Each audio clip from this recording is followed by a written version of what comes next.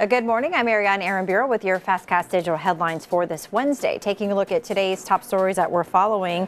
There were some big items on last night's agenda. In a special meeting, the Anchorage Assembly tackled two major issues, helping those experiencing homelessness in Anchorage and aiding our housing crisis through more housing options. In a 10 to 1 vote, the Assembly approved $1.5 million in alcohol tax revenue to help transition 150 homeless people from shelters into more permanent housing under the Anchored Home Next Step pilot program. Assemblymember Felix Rivera hopes this will help take pressure off of often full or at capacity emergency shelters in the city.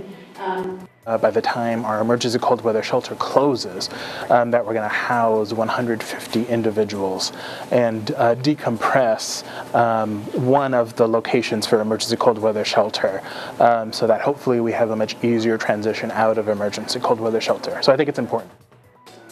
The Assembly also unanimously passed an ordinance to amend municipal code to reclassify triplexes as residential construction instead of commercial. This is to relax requirements and encourage more residential construction in the city.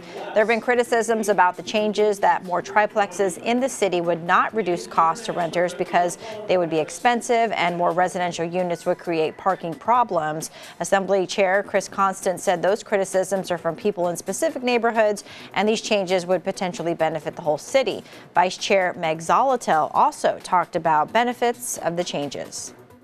I think it's really clear it's assembly priority um, and recognition we're in a housing crisis, and so we're trying to remove all regulatory barriers that stand in the way of the development of housing, really at all price points, quite frankly, um, whether that's from a land use perspective, a building perspective. We're really trying to be creative and holistic in that approach. I don't think I support. Uh this most recent change, though, is just because I don't understand the consequences of what we might be mandating here. Um, and while I think it's well intentioned, I mean, I don't know what the second order effects might be, right? And the Anchorage Museum is pausing its new admission fee policy. That policy allowed Alaska Native visitors to get free general admission. The museum is doing this so it can make sure the program is implemented in the best way. It remains committed to honoring Indigenous people as well as improving access to the cultural belongings.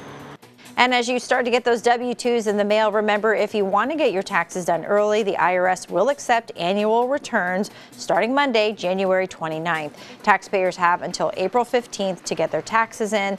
The IRS estimates about 128 million returns will be filed this season and say most taxpayers get their refunds within 21 days of filing.